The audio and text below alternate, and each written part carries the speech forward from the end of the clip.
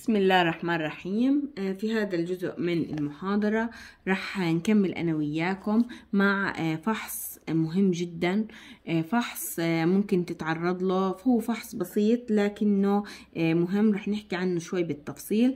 راح نحكي أنا وياكم هلأ عن فحص الأوكلت بلد أو فحص الدم الخفي طبعا فحص الاوكلت بلد أو الدم الخفي الهدف منه إنه نشوف هل في عنا blood عم بنزل مع ال stool ولا لا. باختصار يعني هاي هو الهدف الأساسي من الفحص إنك تشوف في blood مع ال stool ولا لا. ممكن إنه بدك تحكي لي طب مس ممكن نعمل stool analysis عادي أو ممكن نعمل يعني فحص براز عادي بناخذ عينة من البراز مع normal saline وبنحطه تحت الميكروسكوب وبنشوف إنه في عندي RBCs ولا لا؟ هلا في في حالات معينة ما ببين فيها ال RBCs يعني تحت الميكروسكوب. فلازم انت تعمل فحص الدم الخفي. أصلا هو مشان هيك اسمه occult blood أو الدم الخفي أو الدم المخفي أو الدم الغائب يعني. لكن طبعا في بدك تحكي لي طب مس يعني في حالات ممكن يطلع فيها ال occult blood positive ويطلع فيها عندنا كمان blood تحت الميكروسكوب في فحص ال stool العادي. نعم في حالات ممكن يطلع فيها الحالتين positive بس في حالات كتير ممكن يكون فحص البراز العادي أو ال stool analysis العادي.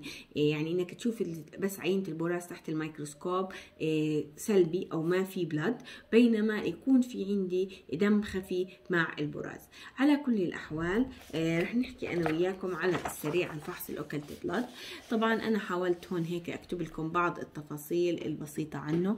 طبعا حتى تعرفوا طبعا فحص ال occult blood إحنا بنشوف عندنا إذا في اسم هلا الإشي الطبيعي إنه فقط يعني very very very small amount of blood present in stool. في بالنسبة للوضع الطبيعي فقط كمية بسيطة جدا جدا جدا من ال RBCs ممكن تلاقيها في ال stool. يعني لا تتعدى بال field حبة يعني 1 RBCs أو 2 RBCs بال field. أكثر من هيك معناته في عندنا مشكلة.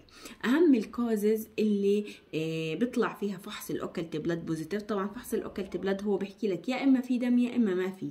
يعني هو الفحص qualitative فحص نوعي وليس فحص quantitative يعني أنت ما بتقدر تعرف قديش الكمية. أنت فقط رح تعرف هل في دم خفي أو ما في دم خفي. طبعا اهم ال causes وال causes كثيرة. ال tumors أها إيه نعم الأورام خصوصا أورام القولون. خصوصا أورام القولون. بعيد مرة تانية خصوصا أورام القولون. أو أي أورام حتى ممكن بعض أورام المعدة أو أورام القولون أو أورام آه ال intestine بشكل عام أورام الأمعاء يعني بشكل عام آه بالأغلب بتترافق مع occult blood أو أو مع positive occult blood في عندنا حالات مثل ال ulcer أو مثل القرح. القرح خصوصا في الأمعاء زي ما أنتم عارفين إنه ال ulcer ممكن تكون آه peptic ulcer يعني في المعدة أو ممكن تكون كمان في عندنا ulcer في الأمعاء. هلأ أي ulcer بالعادة بالعادة بترافق معها occult blood positive كذلك الأمر واحد من أسباب ال occult blood ال ischemia. ال ischemia يا جماعة يعني نزيف أو hemolysis معينة بنتيجه إنه دم مش واصل لمنطقة معينة في في ال intestine أو نتيجة عفوا النزيف في منطقة معينة من ال intestine ممكن تكون ال ischemia. هاي بسبب infection بعض أنواع من مثلا من الطفيليات زي الجيارديا زي الأميبا. ممكن تعمل تقرحات في جدار ال intestine وهذه التقرحات ينتج من خلالها دم والدم هذا يعمل لي ischemia فيعمل لي occult blood طبعا بعض الأنواع من ال inflammation أو الالتهابات مثل ال bowel آه مثل ال bowel ال inflammatory disease اللي أخذناه أو ال ulcerative colitis كليته هذه ممكن يعطيني آه positive occult blood هلا في شغلة آه, آه طبعا آه ال hem ال hem ال hemorrhoids وهذا كتير مهم اللي هو البواسير اللي هو البواسير. البواسير من أشهر الأسباب اللي بتترافق مع occult blood اذا البواسير أو الهيروهويد أو الهيموهرويد اللي هو البواسير من أشهر الأسباب اللي بترافق معها اوكلت بلاد كذلك الأمر فيه سبب طبيعي هو. بعض الأنواع من الغذاء يعني واحد راح عمل تحليل بعد ما أكل كميات كبيرة من اللحوم خصوصا اللحوم الحمراء. طب مس شو خص اللحوم الحمراء؟ في انه أنا يصير في عندي blood في في ال stool هلا شوفوا أول إشي ممكن يكون هذا الإشي نتيجة إنه جسمك عماله بيكون هيموغلوبين بكميات كبيرة وعماله عماله بكسره فصار عندي شوي نزيف بسبب الأكل أو خلينا نحكي ارتفاع في الهيموغلوبين بسبب الأكل. هلا في إشي تاني أهم من هذا الكلام إنه في ناس بتاكل بعض أنواع اللحوم زي اللي بيطلبوه مثلا raw بوكلوا لحم ني أو بوكلوا لحم لحم متوسط النضج أو قليل النضج هلأ هذه الشغلات إلا بيكون فيها لسه من دم الحيوان نفسه أو من دم الأنيمال. طبعا جسمك بتخلص مع من هذا الدم الفاسد أو من دم الحيوانات الثانية زي يعني مثلا دم لحم البقر أو شيء بيكون زي ما حكينا في شرائح مثلا الستيك اللي متوسطة النضج أو قليلة النضج اللي بيكون لسه فيها دم يعني مع البراز كذلك الأمر مثلا إذا حدا أكل دجاج يعني مش منظف كويس لسه في بعض الآثار من الدم ممكن هذا الإشي يؤدي طبعا إلى positive ل occult blood هلأ في عنا زي ما حكيت لكم إنه بعض الأغذية اللحوم أو الأغذية اللي بتحتوي على الحديد ليش؟ لأنه الحديد بتفاعل مع ال buffer أو مع المادة اللي اللي بنستخدمها بالفحص.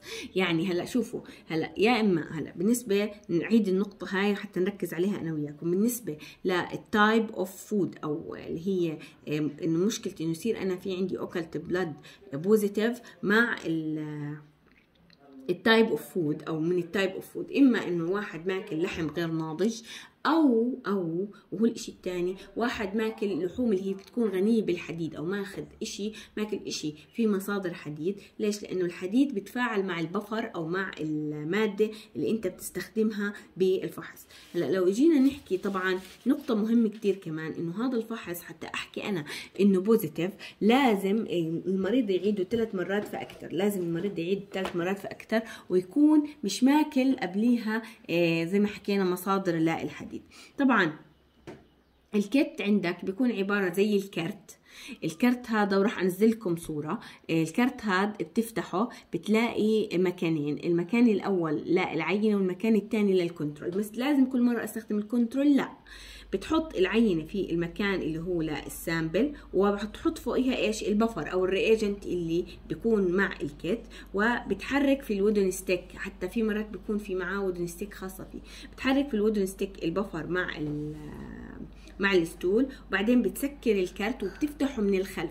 ليش بتفتحه من الخلف؟ حتى تشوف النتيجة. إذا طالع عندك إذا صار اللون ال stool sample صار لونها blue آه، معناته الفحص positive وإذا ضل لونها brown معناته الفحص negative معناته الفحص negative طيب شغلة كمان آه مهمة كثير. آه طبعا هاي هون كل الحكي اللي أنا حكيته عن ال occult blood متى بكون positive inflammation ischemia ulcer tumors إلى آخره. لازم طبعا تعملوا ثلاث مرات حتى هذا. لازم يكون المريض مش ماكل إشي في iron أو meat ليش؟ لأنه حكينا هذا الإشي بعطيني false positive result من ال kit أو من ال buffer ممكن يتفاعل معاه ويعطيك نتيجة إيجابية خاطئة.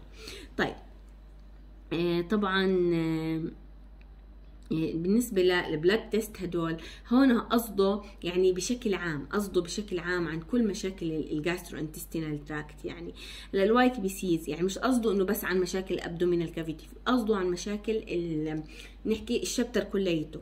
white BCs طبعا ممكن يكون في عندي طبعا إذا كان أي مشكلة صارت عندي في الجهاز في مشاكل زي ما حكينا الجهاز الهضمي مشكلتها infection أو inflammation راح تلاقي أكيد ال leukocyte عالي. طبعا كلمة shift of the left يا جماعة يعني زيادة في عدد ال white BCs يعني زيادة في عدد ال white BCs طيب ال RBCs والهيموجلوبين ممكن يكونوا normocytic يعني يعملوا normocytic anemia ممكن يكونوا macrocytic ممكن يكونوا microcytic طبعا هذا الإشي حسب إيش المسبب. طبعا أكثر إشي بيسبب أصلا الأنيميا اللي هو زي ما حكينا ال malabsorption أو ال peptic ulcer أو بعض المشاكل. مش كل مشاكل ال chapter كانت تعمل لي أنيميا.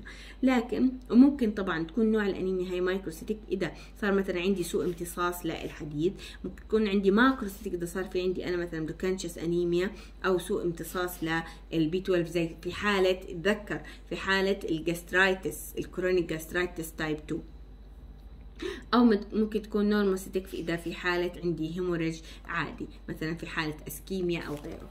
طيب في عندنا ال ESR ال ESR ممكن يكون مرتفع كذلك الأمر إذا كانت عندي المشكلة اللي صايرة في ال gastrointestinal سببها طبعا شو؟ سببها inflammation أو سببها التهاب. ال PT راح يكون مرتفع أو راح يطول إذا كانت المشكلة طبعا إلها أو مرتبطة بفيتامين K آه، بالنسبة لعناصر الصوديوم والبوتاسيوم ممكن تكون decrease خصوصا إذا ترافق مع أي مشكلة من مشاكل الجهاز الهضمي آه، إسهال أو مراجعة لأنه بيؤدي طبعا إلى فقدان كميات كبيرة من السوائل من العناصر. آه، كذلك الأمر البي اتش والسي أو راح تزيد. لا يعني كعرض أو كنتيجة لل vomiting وال diarrhea. الالبومين راح يكون بالأغلب نازل وطبعا هذا الكلام مش في كل أمراض ال gastrointestinal فقط في إيش؟ في ال malabsorption بالنسبة للكالسيوم كذلك الأمر راح يكون decrease في ال malabsorption طبعا أنا اللي حكيتهم هدول يا جماعة لهم دخل بشو؟ لهم دخل بكل ال chapter يعني بشكل عام بشكل عام. القراءات المخبرية لهذا ال chapter بشكل عام مش مش لل abdominal cavity ولا لل malabsorption لحالها ولا للإشي لحاله. وإحنا فصلنا أصلا في كل واحدة فيهم أكثر من المطلوب لحد هون أنا بكون خلصت محاضرتنا اليوم وخلصت هذا ال chapter. بنكمل المرة الجاية.